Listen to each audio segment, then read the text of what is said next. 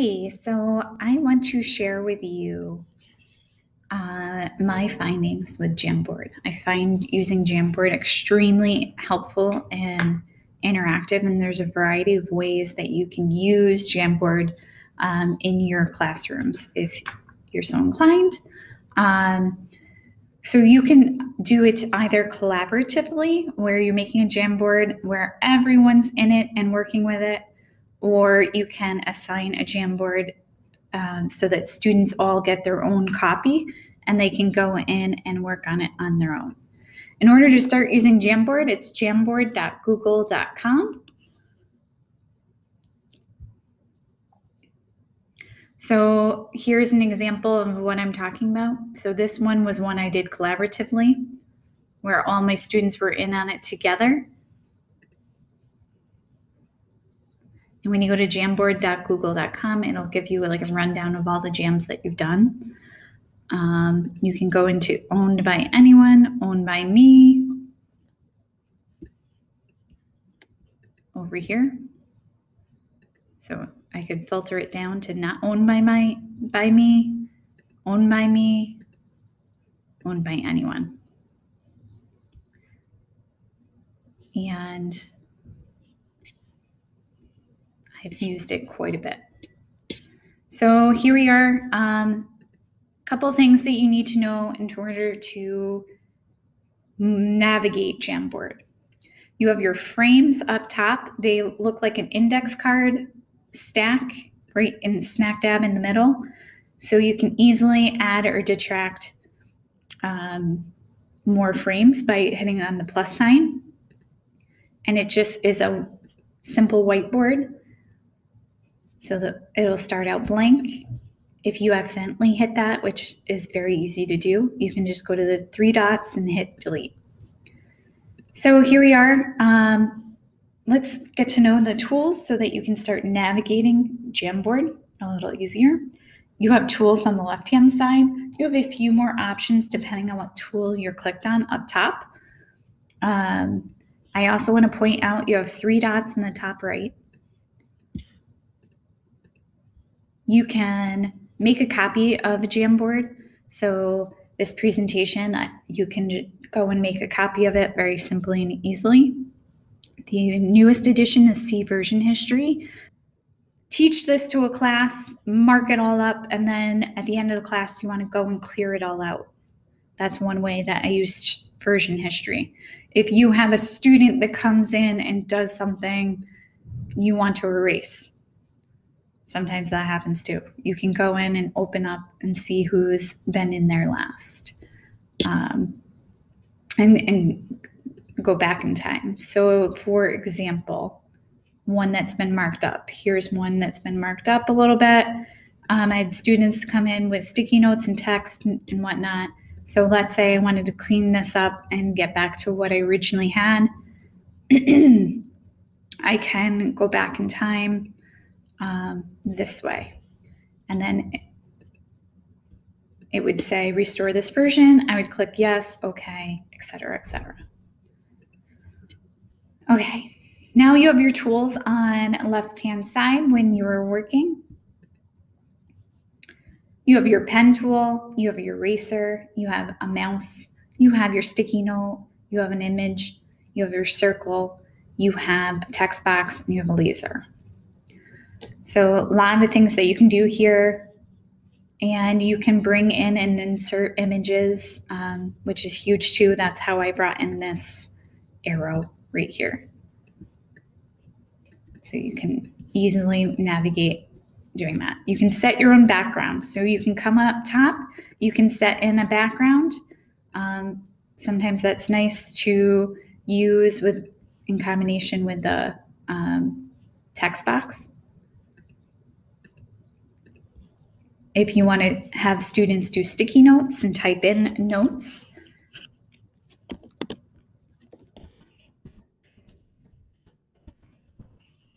they can change up the colors that they want, or can, they can have no color at all. And they pop in really quickly and easily. You can duplicate them by going to three dots up right, top right. You can order them So if you had them all stacked up, you can send things to the back if you wanted to flip through. There's so many possibilities.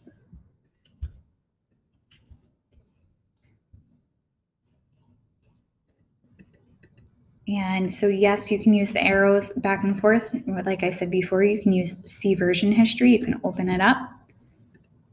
Um, you can go back in time. If I wanted to just restore back to my blank copy. Okay, so next up we have the pen tool and eraser that is found here. So if I click and hold on the pen tool, you have pen, marker, highlighter, and you have a brush tool. You also have six colors choices to work from. Um, pen tool, and a tip and trick using pen tool. Sometimes when you're writing, it's not a straight line. And um, I just got lucky there. Um, but if you hold on shift key on your keyboard, you can get a straight line. Little tip and trick. Marker. Marker is a little thicker. Very similar. Again, that shift key is a blessing when you're doing like graphs and stuff. Highlighter. Highlighter is a little thicker and you can also build up value. And then you have brush. Brush is also one that you can build up and add more and more color to it if you want. Eraser, you can go in and erase. Unfortunately, there's no capability just yet to make your, your eraser bigger. So this does sometimes take time, and that's where the version history is super transformative. You don't have to sit there and waste time erasing something. You could easily just go back to your last version, and then just hit restore and restore. So if a student did something you didn't like, you can go right in there and re restore it. Um, so again, I keep arrowing through my presentation using the index cards up top. Next up, we have the shapes tool. So the shapes tool um, is right here. So I could use the shapes tool to get started on a graph if I wanted to make an X and Y axis. Um, like I mentioned up top, you have different options depending on what tools you're clicked on. So if you're on the shapes tool and you click select a, a shape, you have options to fill it in and have a border by going up top to fill color. And it's those six colors that I mentioned before black, blue, green, yellow, red, and white. You have border options. So if you want a different color border, again, there's no thickness, thinness capability yet. I guarantee they will build that in in the future um, and code that in. You could also just use your brush tool. Um, sorry, not brush tool, probably pen or marker tool if you wanted to do a graph. Using shift key would be your, your best bet for those straight lines. That still isn't straight, but you get the idea. So the more you experiment, you kind of figure out what works best. Again, I didn't have shift key held down, so hold it down then make your straight line. That will give you what you want, and then you can add in the arrows.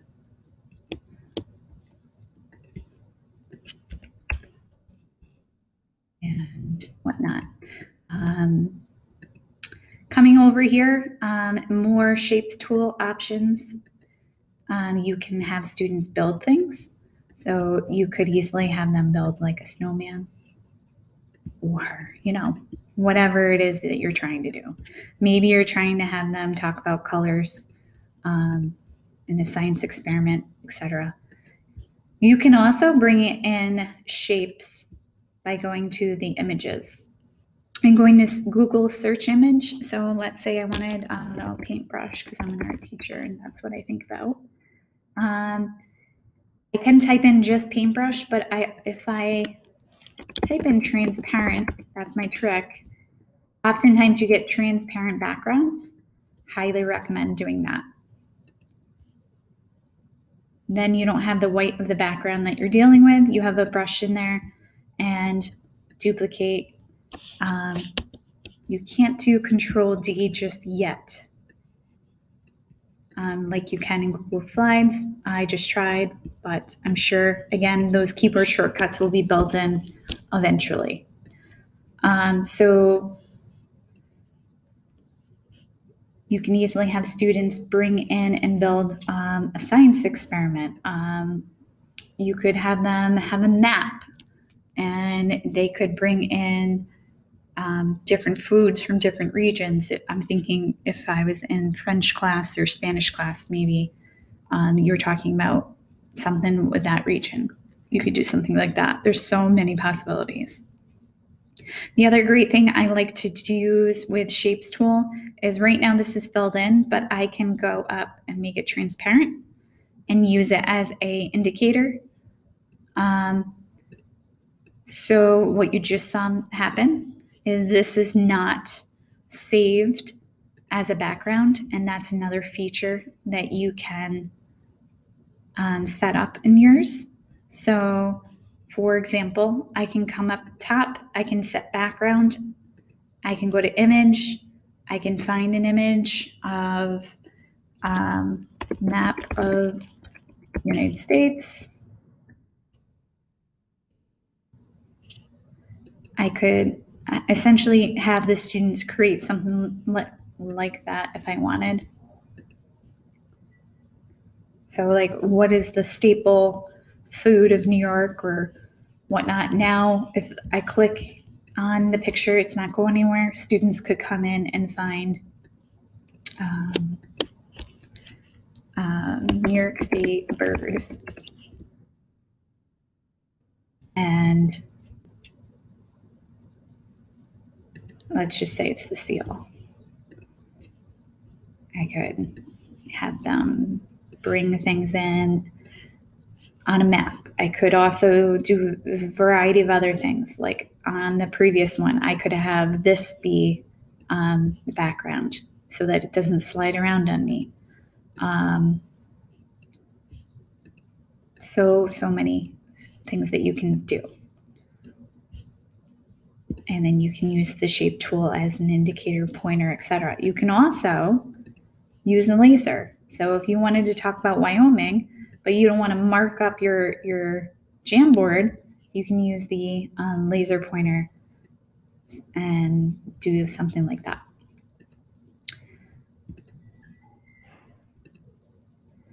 So another option um, is you could do sign up kind of like a social emotional check.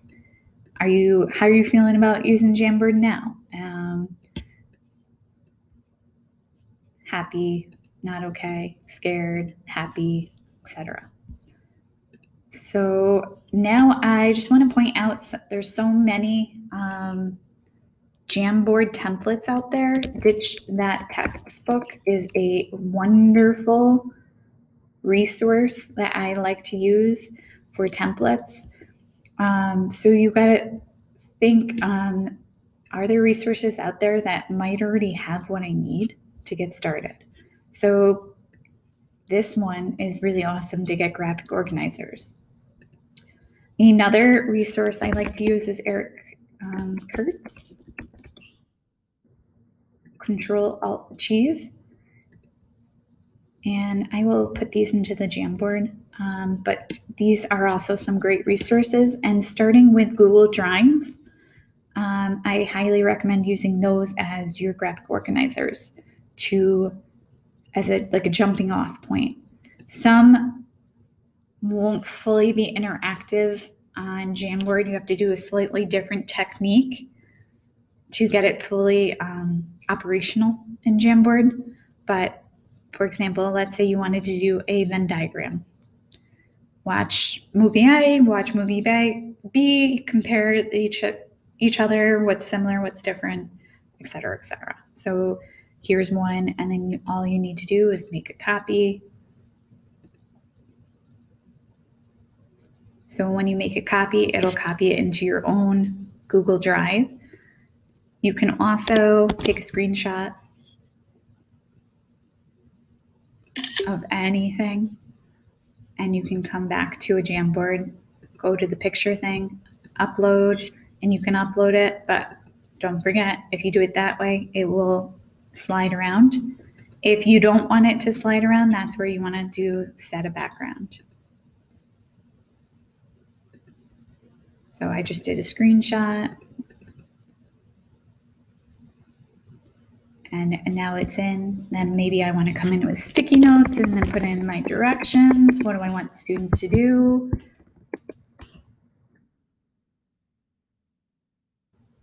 Etc. So use the resources that are out there. Um, there's so many wonderful things already built. So think smarter, not harder, and how you can um, use what's provided out there for you. There's a lot of Facebook groups right now that uh, have Jamboard specific um, templates too.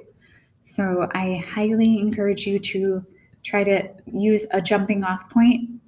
Um, then you can come in and curtail it and make it your own um, for your own teaching goals and objectives. And that is how I use Jamboard in my classroom.